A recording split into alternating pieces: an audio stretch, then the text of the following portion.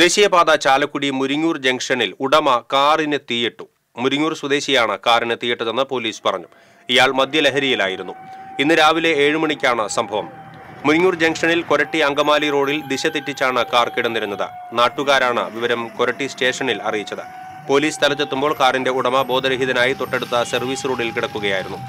Fire force unit എത്തുകയും തീ അണയ്ക്കുകയും ചെയ്തു. കാറിന്റെ ഉടമയുടെ പേരിൽ കേസെടുക്കുമെന്ന് പോലീസ് പറഞ്ഞു.